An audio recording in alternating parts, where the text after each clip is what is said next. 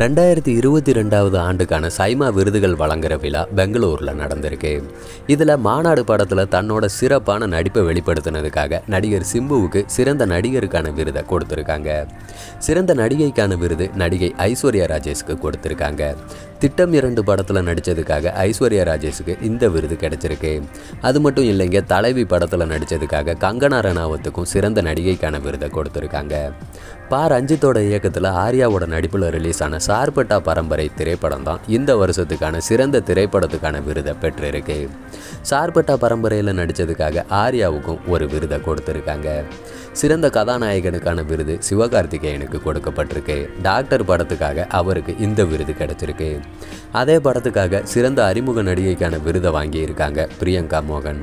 மேலும் டாக்டர் படத்தில் நடிச்சிருந்த ரெடின் கிங்ஸ்லி மற்றும் தீபா போன்றோருக்கு சிறந்த காமெடி நடிகர்களுக்கான விருதை கொடுத்துருக்காங்க.